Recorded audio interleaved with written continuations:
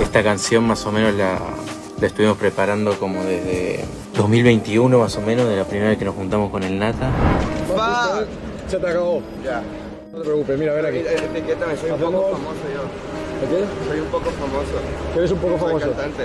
¿Qué es cantante? Ya. ¿De yo, qué? Yo vivo ahí, güey. Ahí en un penthouse. Si quieren un pinche party, yo tengo un penthouse ahí. Ah, vale. Venga. eh, una foto. ¿Eh? Sí, sí, hacemos con esto. Y etiquétame en Insta. Mm, Solo si no, no hago eso, tío. Solo mándamelo pues. Hacemos así, mira.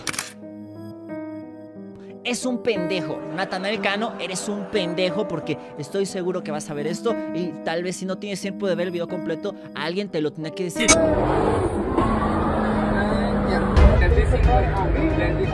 hacia tu gente, a tu familia.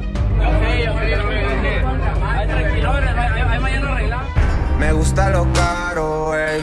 Como Rafa Caro, ey. Rafael Caro Quintero es entonces, de nueva cuenta, el narcotraficante más buscado de la DEA, probablemente entonces el hombre más buscado del mundo.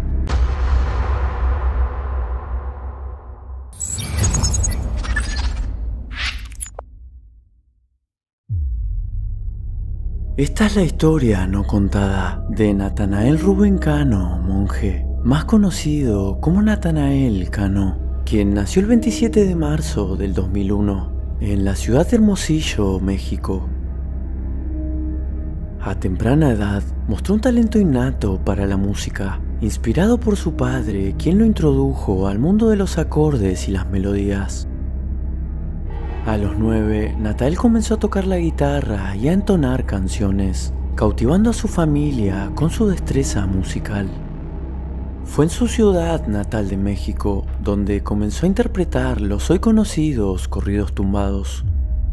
Además de haberse influenciado por la carrera del cantante Ariel Camacho, Natanael dejó la preparatoria para dedicarse de lleno a su carrera musical y se mudó a los Estados Unidos en busca de fama. En sus inicios, Natanael era muy criticado por algunos streamers. Este güey hace sus corridos tumbados, en lo personal me parecen asquerosos. Con el tiempo, el cantante se había dado cuenta que ser una figura pública no era nada fácil, expresando abiertamente que ser un cantante famoso lo hace sentir como un objeto. Ey, cálmase, yo no soy un objeto, soy un humano, soy una persona. Pero a veces ni me preguntan cómo estoy, cómo me siento. Y ahí es cuando tú dices, wow, soy un objeto, ¿me entiendes? El artista había hurgado en los rincones más profundos, en busca de algo que lo ayude a tener el reconocimiento que él creía merecer. Fue ahí cuando sacó la canción Como es arriba, es abajo, un éxito cuyo origen de la frase pertenece a uno de los siete principios herméticos del Kybalion, un conocimiento que es utilizado por la masonería.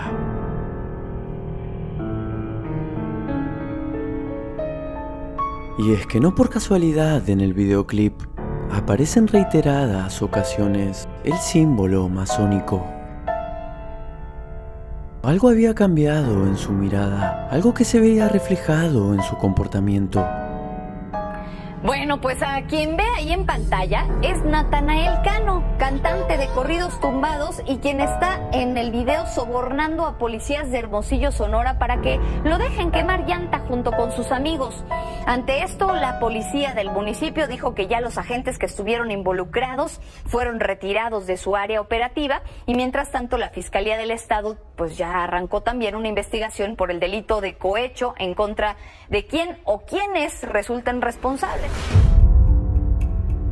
Su conexión con los corridos tumbados se estaban convirtiendo en un fenómeno global, con hits que resonaban en distintas partes del mundo, lo que lo llevó a formar parte de la Visa Rap Music Session número 59. Ya la tenemos tres años, ya hicimos 20.000 versiones. Una de esas se filtró, no sé cómo. Yo le dije al Nata que para mí la filtró él. Él me dice que no, pero está todo bien, Nata. No pasa nada. Porque yo soy muy cuidadoso con las canciones. Está claro que si el tema no lo filtró Bizarrap, lo hizo el mismo Natael. Los tracks están compuestos por una mezcla de corridos tumbados con trap. Y es que no hay que estar lúcido para saber que los famosos corridos actuales hacen apología al narcótico. Por eso es que Natanael no perdió la oportunidad en hacerle mención a Rafael Caro Quintero. Me gusta lo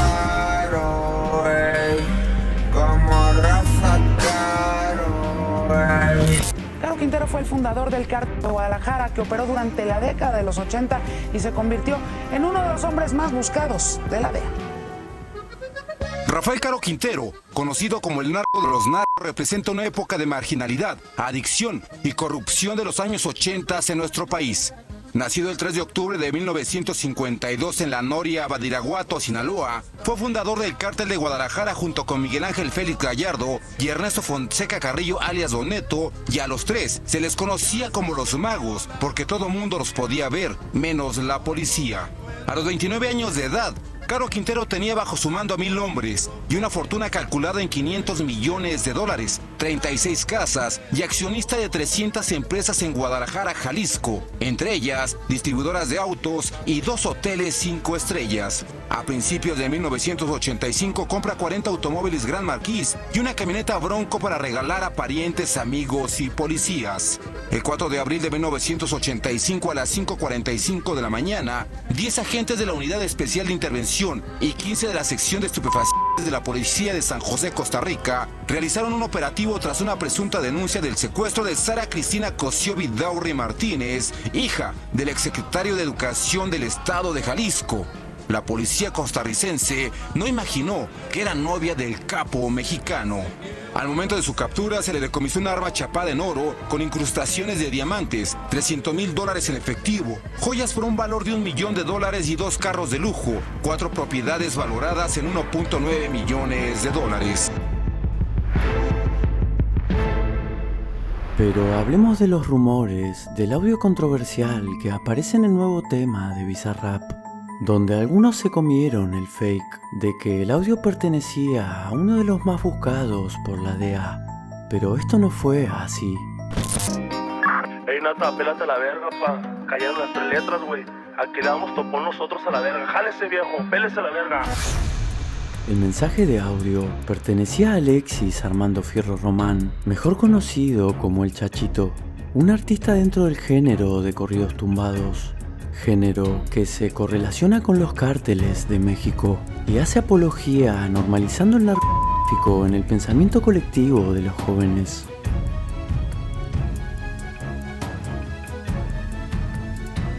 Pero recuerda que tú tienes la última palabra. Te leo en la caja de comentarios.